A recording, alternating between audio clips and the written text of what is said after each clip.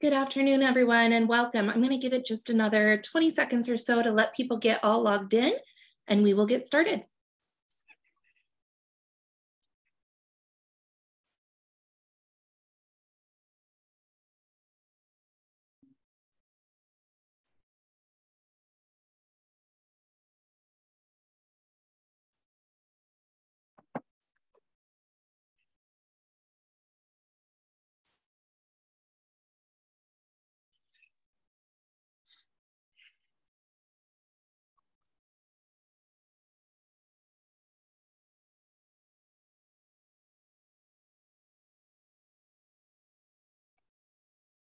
All right. Good afternoon, everyone. Welcome to the HFMA Colorado chapter webinar series. Um, make sure that you follow us on our social media to get all of the um, information about our upcoming events, webinars, and cool things we have going on. We want to take a moment to recognize our annual business partners. Their support allows us to operate our chapter and bring our members quality education and resources just like these. We hope you will take a look at them first when your organization needs services or support. We also want to remind you that certification is included in your membership. Study materials are online and all modules can be completed on demand and at a time that's convenient to you. It's never been easier to get certified. Contact the chapter if you have any questions. If you have questions throughout this webinar, please go ahead and put those in the chat box. We will try and field those as we go. So let us know if you have some questions. Also, today's webinar will have NASBA, continuing education um, credits available.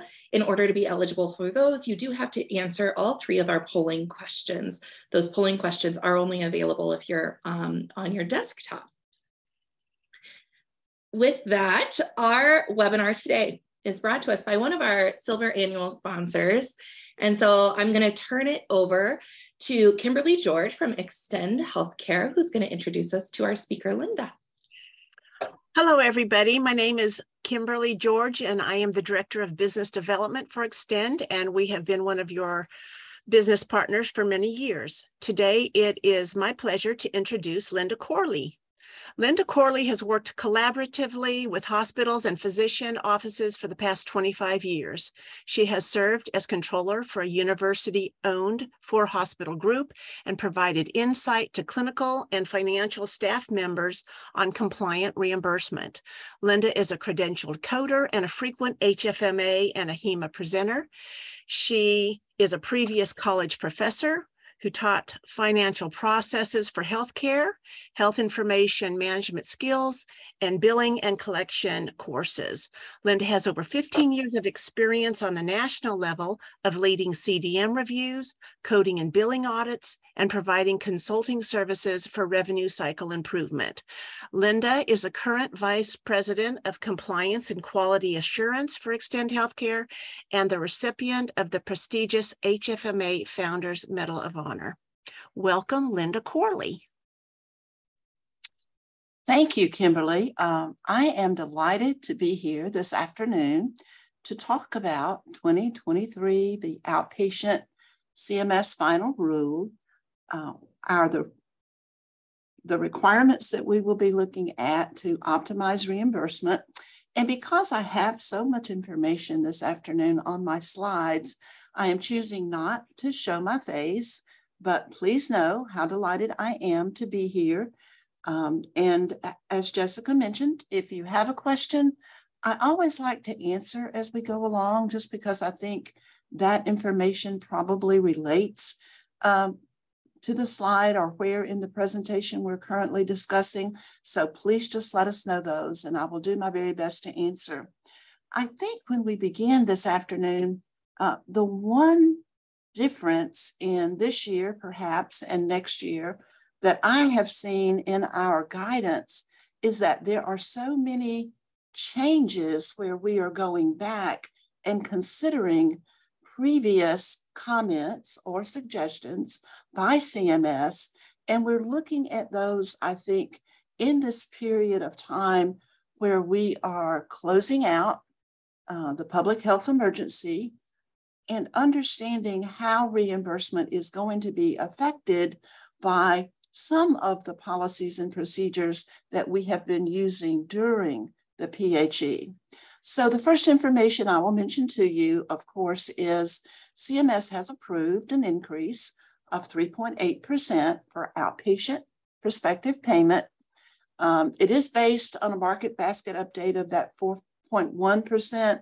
I mention that only because I do get questions regarding what is the market basket for Medicare or CMS, and why is it um, often mentioned as far as our rate increase, but then is generally actually reduced by other adjustments that CMS puts in place. So as you see there, we will have a productivity adjustment of 0.3 percentage points. CMS is telling us this will result in a total of about 86.2 billion in payments to OPPS providers, which of course we know is hospital outpatient. And that's about 1.8 billion more than last year or this year that we're in.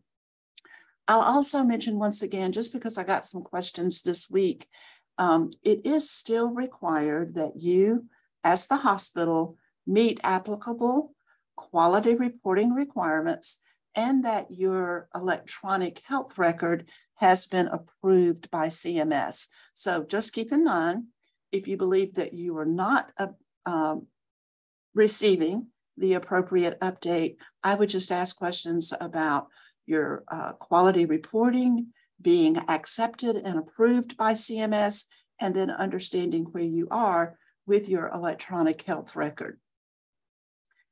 Um, it's always interesting to me when we start discussing the inpatient only list, because as far as I know, other payers have uh, particularly surgical procedures that may be required to be inpatient, but CMS, as far as I know, is the only payer that gives us a particular list by CPT that is required to be performed inpatient.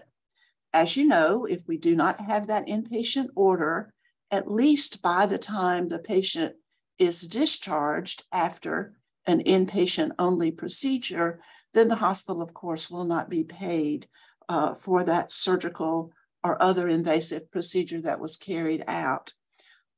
I wanted to go back and just mention again uh, all of these slides truly have come about just because of the questions I'm receiving, receiving either from our customers or other HFMA members, because um, many people know that I'm interest, interested not only in what is in this year's um, final rule for OPPS, but I certainly want to go back and understand what has happened in the past that has led us to certain reimbursement requirements. So I'll mention to you that back in 2000, uh, CMS established our first inpatient only because that is when we changed to OPPS to being reimbursed, reimbursed under uh, prospective payment requirements.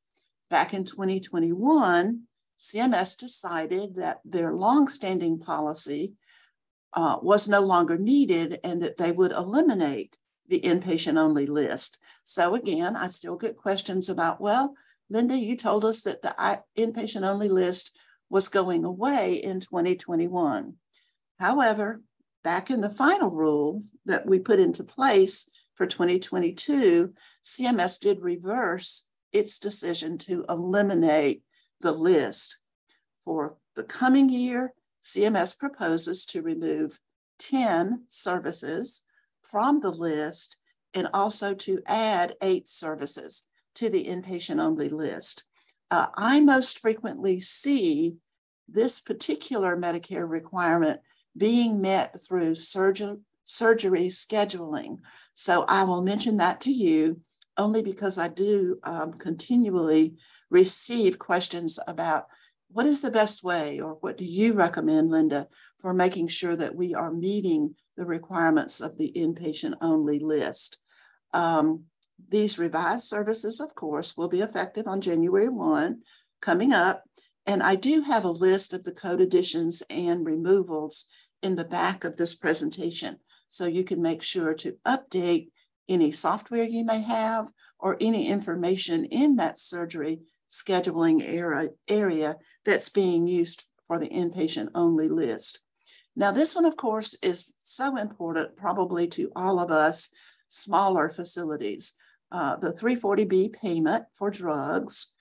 Back in 2018 and 2019, CMS finalized payment for hospital outpatient drugs purchased with a 340B discount as average sales price minus 22.5%, which was quite a reduction for drugs uh, being administered in the outpatient area. Until that time, we had been using average sales price plus 6% for a number of years. That reduction in reimbursement did prompt litigation, and it was the subject of a, recent US Supreme Court decision back in June. Um, on June 15th, the court held that without a survey of hospitals' drug acquisition costs, Health and Human Services could not vary the reimbursement rate only for 340B hospitals. So, therefore, 2018 and 2019 rates were unlawful. That's what the court decision called them because CMS did not conduct a survey uh, for more than a decade after statutory provisions went into effect back in 2006. And again, I don't think it's it's important that you remember all these details. I just like for you to understand how we have gotten to where uh, we will be or what will be required for 2023.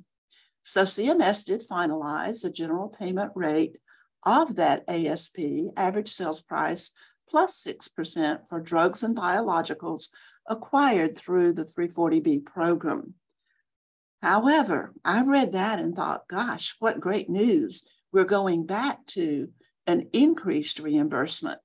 But in, this in the same final rule, uh, we found out that CMS is implementing a minus 3.09% reduction to payment rates for non drug services in order to achieve the budget neutrality for the 340B drug payment rate change for the coming year. So while we are returning to ASP plus 6%, we will also have the reduction of minus 3.09% um, in non drug services. CMS also will address the remedy for drug payments from 2018 through 2022 in future rulemaking prior to next year or next calendar year in the proposed OPPS rule. Um, so changes still going on is the way I would put it. But then again, I would simply look for those of you who are um, able to take advantage of the 340B purchase plan. I would just be sure that your reimbursement is uh, around that average sales price plus 6%. Claims for 340B acquired drugs paid after the court's ruling in June have been paid at the default rate, which is that ASP plus 6%. So you might want to check on that particular reimbursement rate as well for the latter half of this year, 2022. So I'm interested in you understanding what is needed for 340B. And then I do have good news. I think about remote behavioral health for next year, or simply behavioral health is probably what I should say. Patients can receive remote behavioral health services from hospital, outpatient clinical staff because of the waivers that we have enjoyed from the COVID 19, that public health emergency. The CMS final rule for outpatient prospective payment will continue these remote services as covered outpatient services paid under OPPS even after the PHE expires. And I want to be sure that you hear that. Yes, although the waivers will be going away at the end of the PHE, We will continue remote behavioral health services as covered and reimbursable. These services are generally performed by the clinical staff of a hospital using telecommunications technology that originates from the hospital location to beneficiaries in their homes. Um, CMS had proposed and is continuing to work on specific coding. So make a note that you want to, I, could not find it for this presentation, but as we get more um, information into new both CPT and HCPCS level two codes for 2023, it will be important for understand for us to understand what those codes are going to be uh, for remote behavioral health. One requirement I wanted to mention to you is that our patients will need to receive an in-person service six months or less before the first remote visit and every 12 months an in-person visit after that first or ongoing remote visits. CMS did clarify that when there is an ongoing clinical relationship between the provider or practitioner and the patient at the time the health emergency ends, the in-person requirement for ongoing 12 month, every 12 month uh, in-person visits will be uh, applicable, not the newly initiated uh, remote patient requirement. CMS also proposes to permit providing these services uh, by audio only technology in order to improve health equity. And I'm glad to see again uh, the opportunity for patients, particularly Medicare patients, to continue to receive audio only technology services, particularly for behavioral health, that those will be continuing after the PHE. So, our first polling question is Do you have plans to provide additional behavioral health services in 2023? We're just asking you yes, remote behavioral health care, yes, no, or you may be unsure of whether or not those are being provided.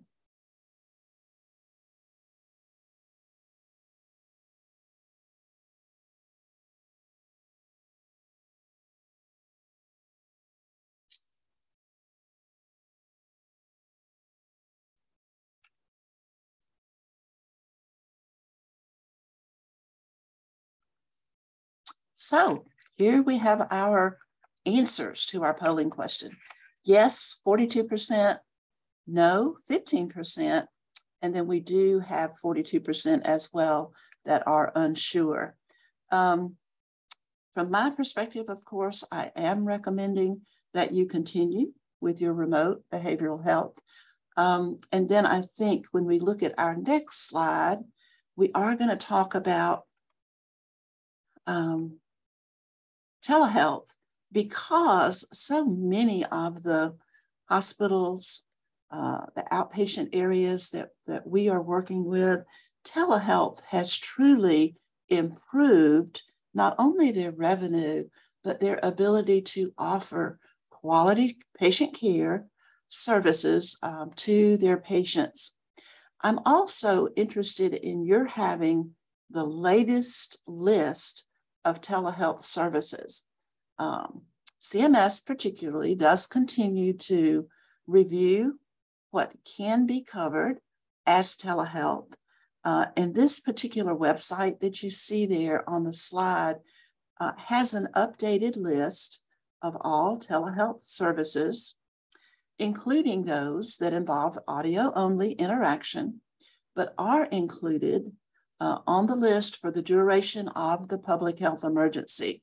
Um, and I actually, because I stay involved with, with charge masters and looking at what's being reimbursed and making sure um, charge capture is appropriate for all telehealth services, I look at this website about every two weeks because CMS does continuously update the list of uh, codes that are present in the list uh, to be sure that you are up to date, not only with what is covered and uh, what is available now under telehealth care, but so that you are assured your claims are going out with the appropriate updated codes. Uh, I think, of course, that always assists us with improved reimbursement. Okay, so we have another polling question. Are you currently providing telehealth services? If so, do you pl plan to continue these after the PHE? Uh, so please answer yes, but we do not plan to continue. Yes, and we will continue, or no.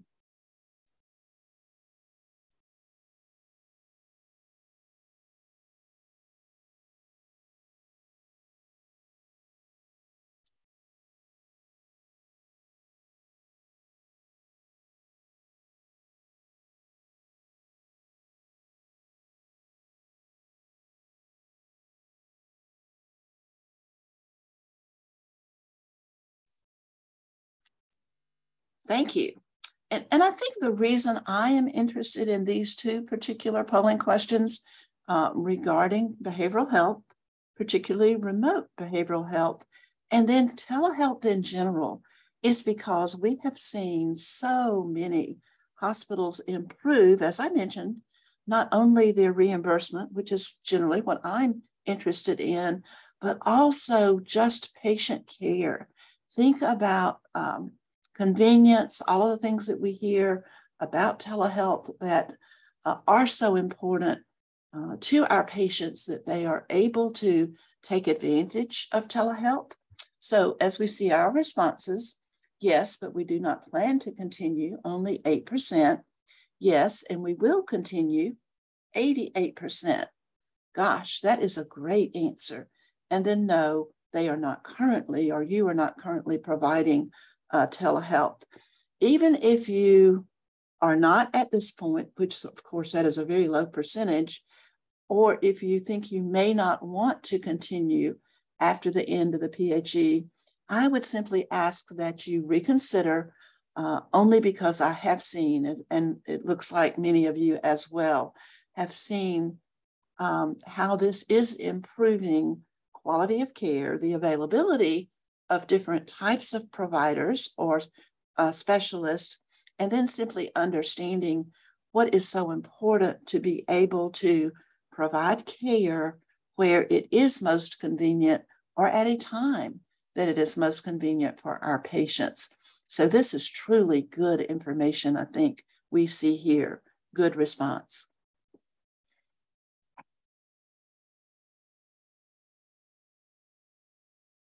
So I'll stop here and just ask if anyone has a question that we want to uh, attempt to answer at this point.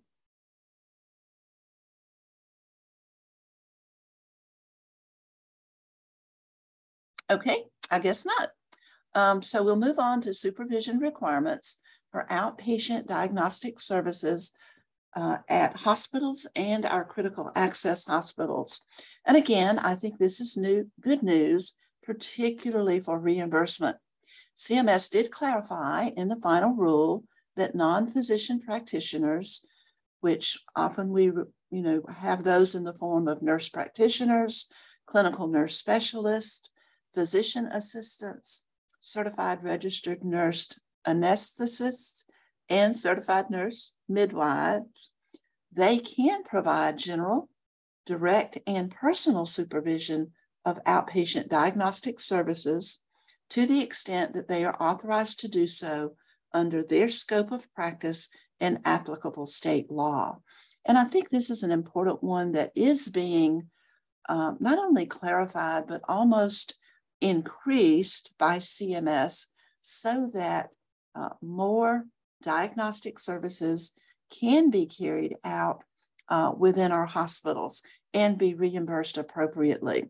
So uh, I, several of our hospitals have simply undergone uh, uh, almost a test of asking the clinical areas or departments, you know, are you staffed by an NPP or non-physician practitioner at certain times of the day or on the weekend?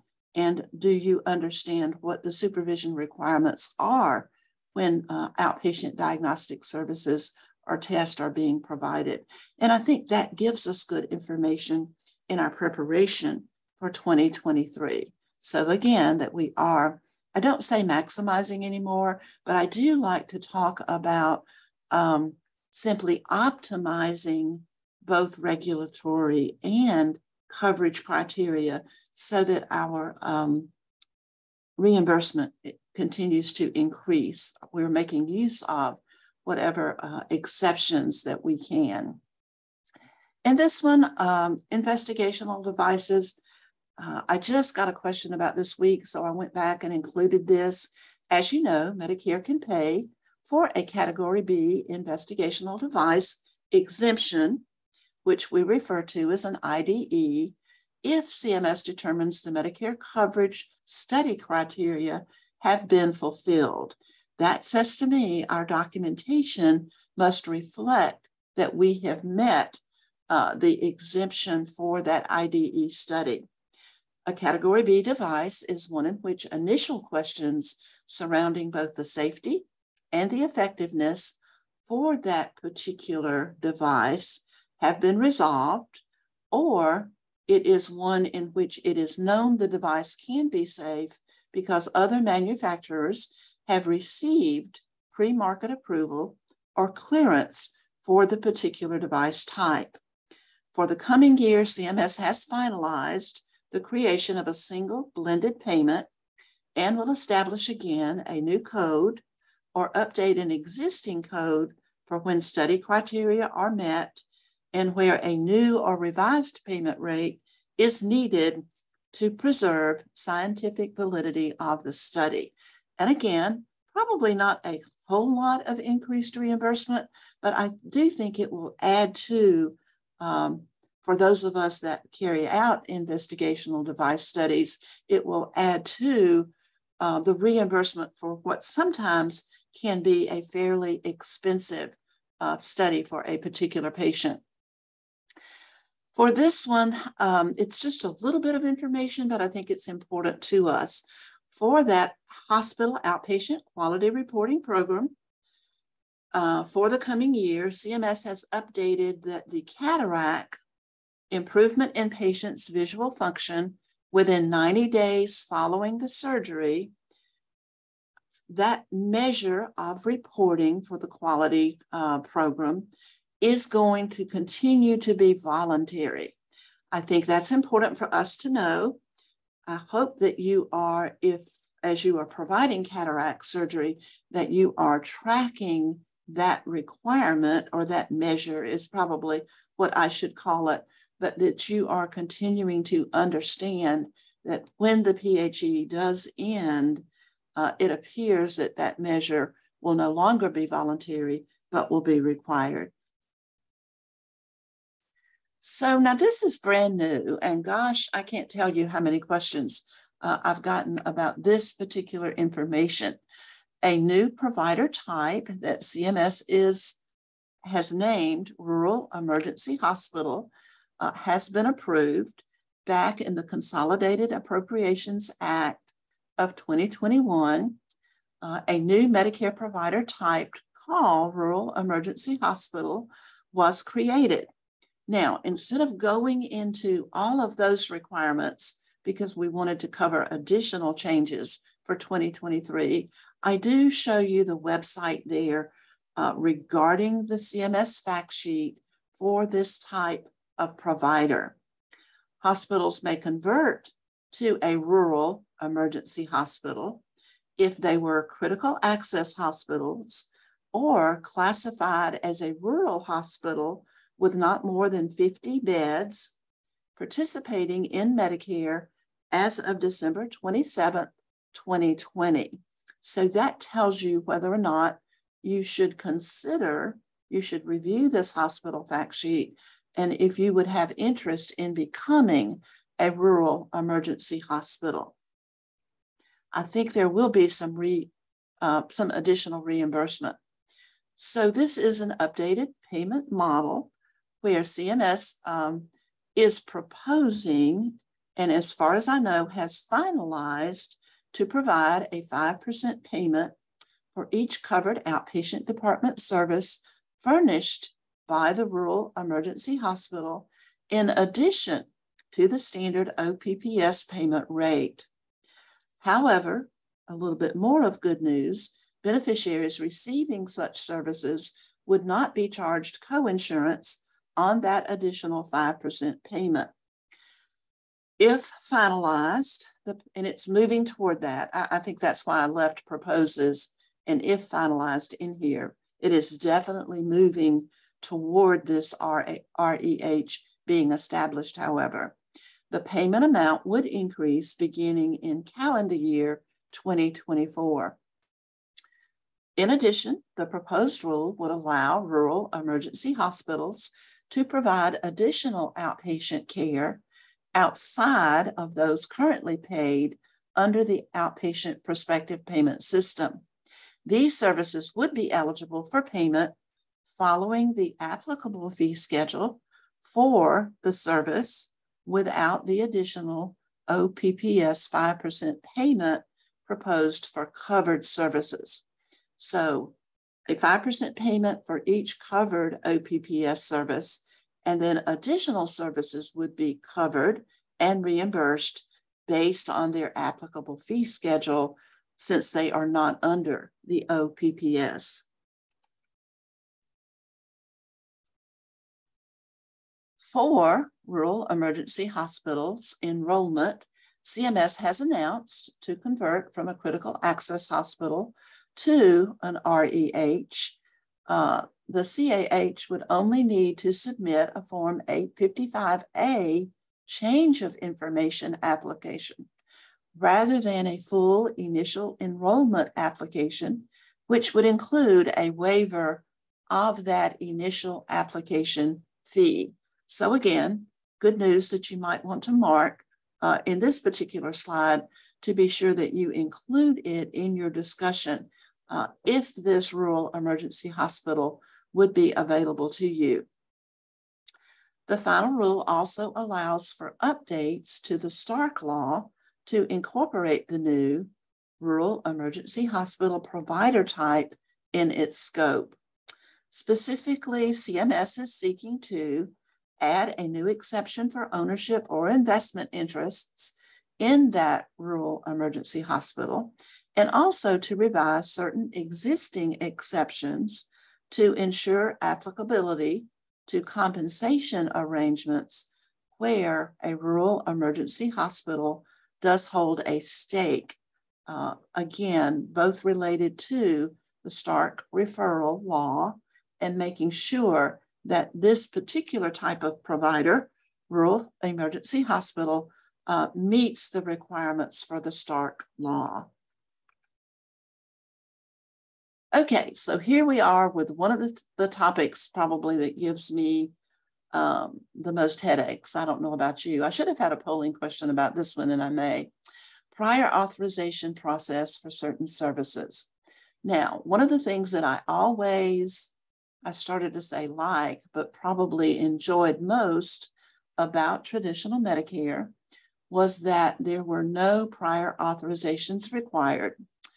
Well, of course, we changed that back in 2020. CMS did finalize a policy where hospitals must seek affirmation of coverage before outpatient services are furnished to our Medicare traditional beneficiaries and before a claim can be submitted.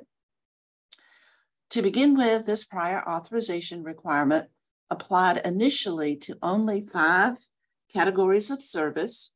Uh, and I won't read those to you there, but I did want to list them.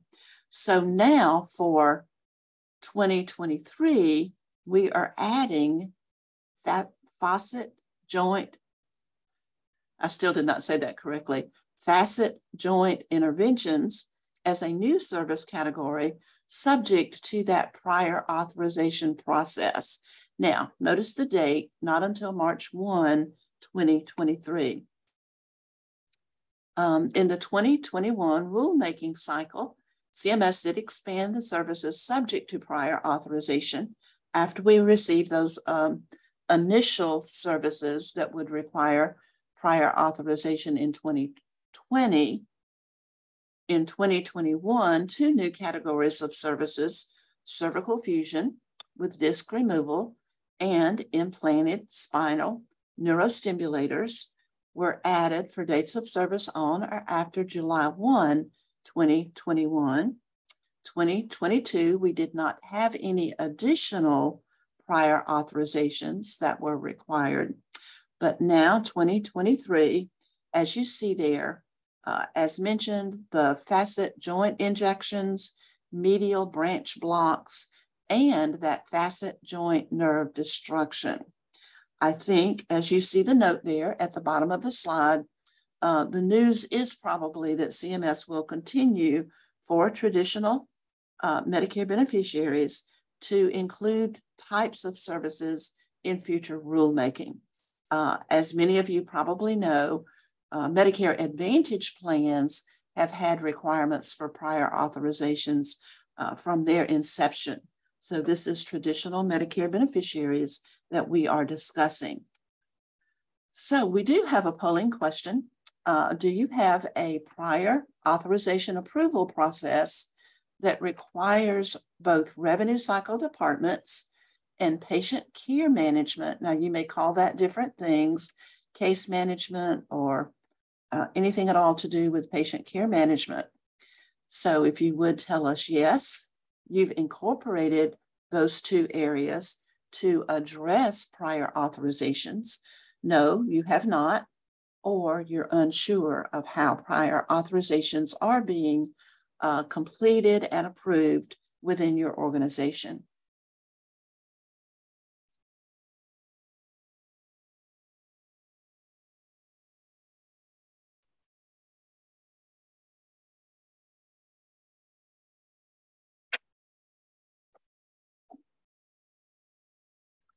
So I will go back by way of just a little bit of explanation.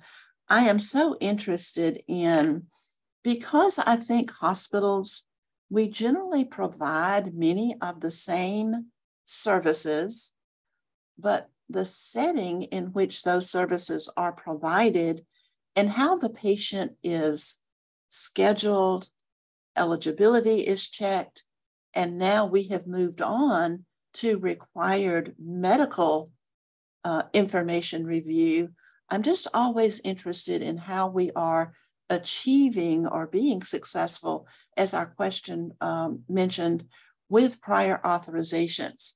And we see there that 57% of you have both included uh, revenue cycle areas, depending on where your patient may be uh, registered or scheduled, most probably. 57% are saying yes, no, 14%, and unsure, 29%. So I would encourage you, just because I'm interested in reimbursement, that you review your prior authorization process. And I'm sure that you have, because all of us have been addressing this.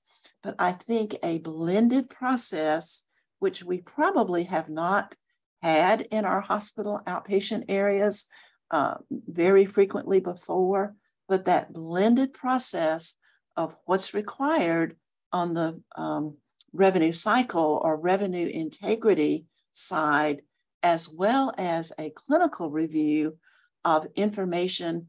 Uh, I'm seeing, you know, payer requirements for a particular lower level um, imaging test may be required before you can move on to uh, a more expensive or a higher level CT or MRI. I just think here we are uh, almost immersed in understanding how are we putting into place either workflows or procedures to ensure that new payer requirements, of course, not only Medicare, but new payer requirements are asking us to uh, almost refine our revenue integrity processes so that we are meeting payer requirements to be reimbursed.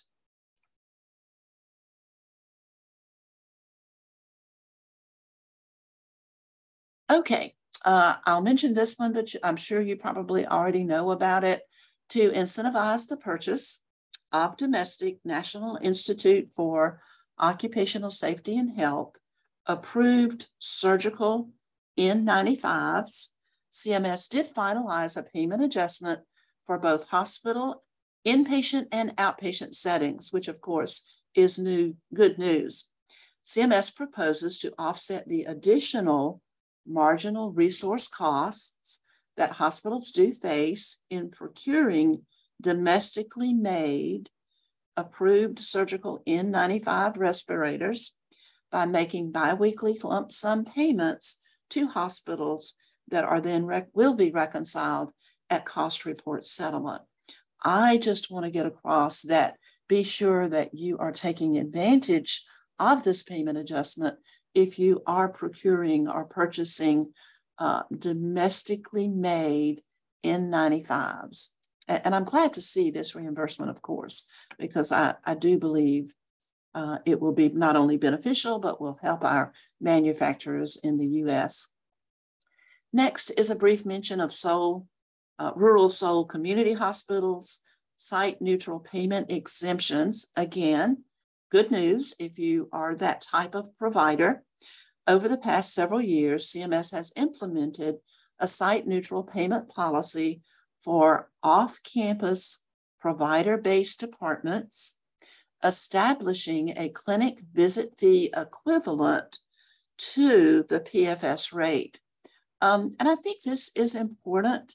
We want to be sure, one of the CMS main uh, focal points for 2023 uh, looks at our rural and smaller hospitals, particularly um, rural health, of course, but, but making sure that patients who are Medicare age have um, access to health care that they need.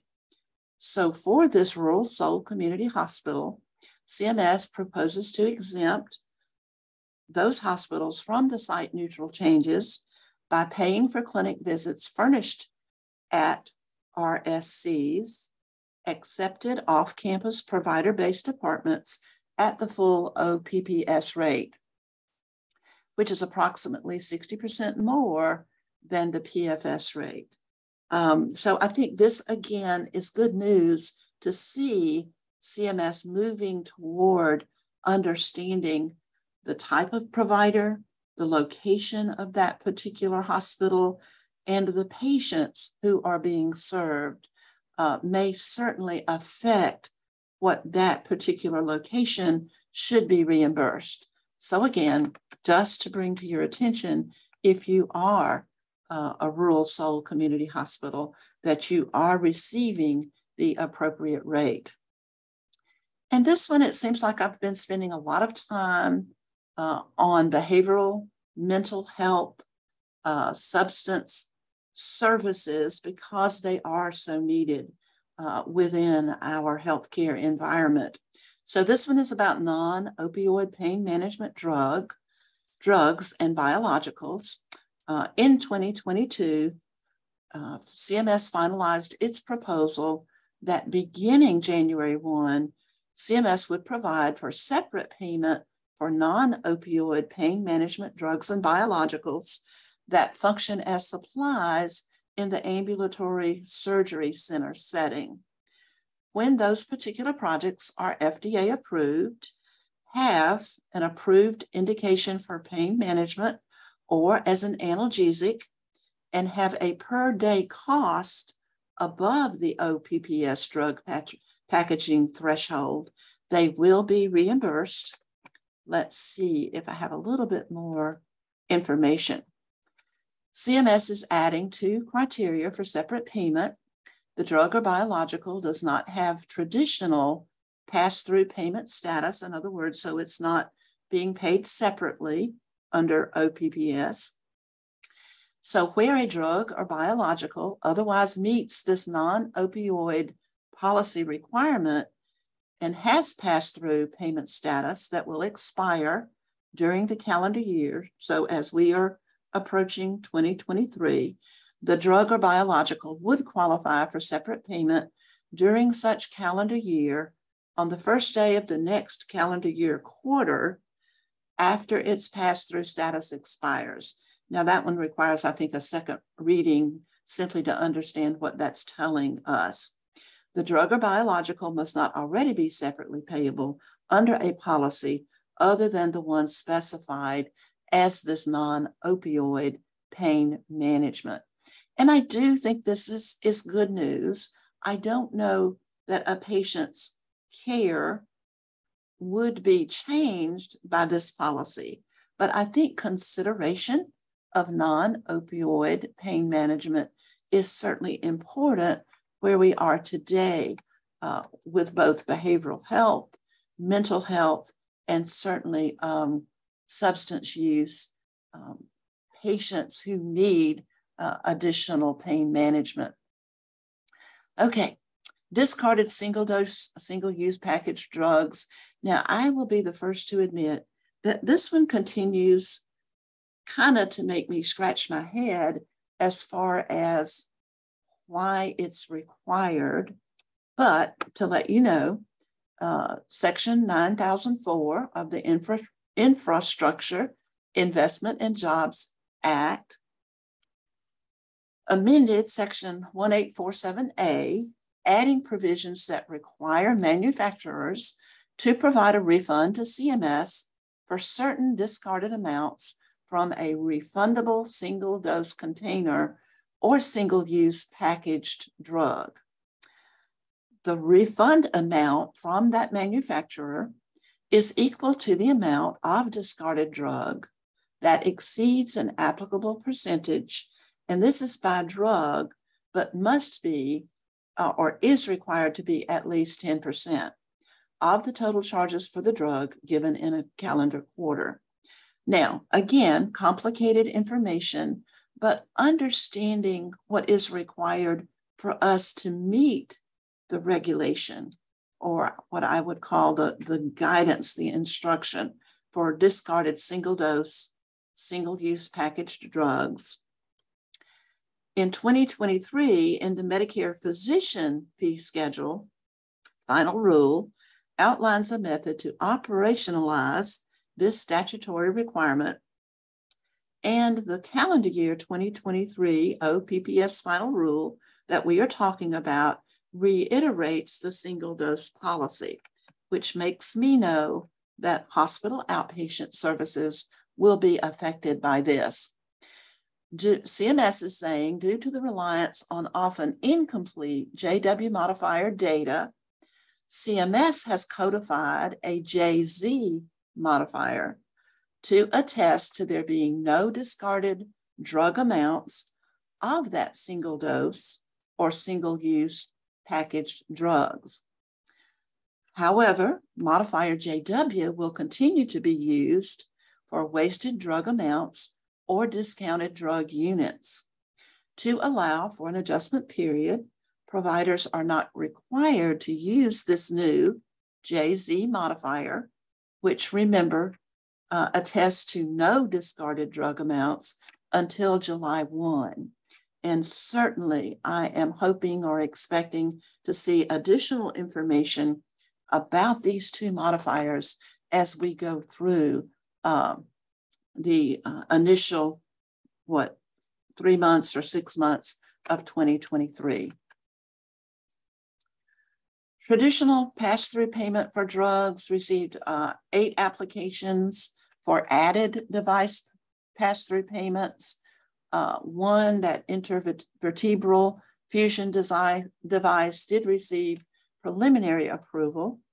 Uh, and CM, CMS has finalized its process to resume using claims data from two years ago or two years prior to set rates for the calendar year.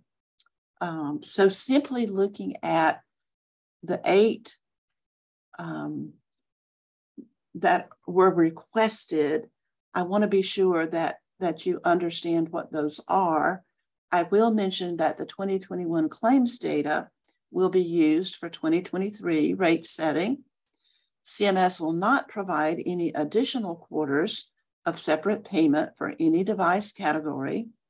However, CMS will publicly post the completed OPPS device pass-through application forms and related materials it does receive from applicants online, excluding certain copyright information, of course, that cannot be released for applications received on or after January 1. So looking at um, what these eight devices, we know that one of those is the Fusion. Um, one received that preliminary approval. Four were determined as meeting the qualifications, and the other four devices did not meet one or more of the eligibility criteria. Again, I have been looking for these, have not come across the specific HCPCS codes. So you might want to make a, a note that um, as we receive that proposed addendum B from uh, the final rule, we should be able to identify the four that have been added uh, to receive a pass-through payment. Because again, since I'm a reimbursement person, I always want to look and see what should I be receiving payment for. Skin substitutes have been up and down and all over the world is the way I describe it. Um, back, CMS did establish a policy that divides, divides the skin substitutes in a, into a high cost and a low cost group. Um, for 2023, CMS did not finalize its proposal to change the terminology of skin substitutes. However, CMS will continue that policy of assigning to a high or low cost group based on the product's geometric mean unit cost or per day cost relative to that geometric mean unit. I don't know that I've ever seen the policy definition, so I wanted to be sure that I included that so you can understand for the skin substitutes that you may be purchasing uh, what determines whether it is a high or low cost group. CMS did state in the final rule they will host a town hall early in 2023 to further understand the concern regarding the changes in terminology and why we have so many questions about payment policies for these skin substitutes, which, as you know, some are very expensive. And it has not appeared to me now, personal, you know, perspective that skin substitutes are being reimbursed at the amount they should be. But of course, I probably need to say as well, I want all services to be reimbursed just a little bit more. One final uh, rule that I wanted to get across is that C 1849 is being eliminated. That has been the code in OPPS to report the use of synthetic skin products.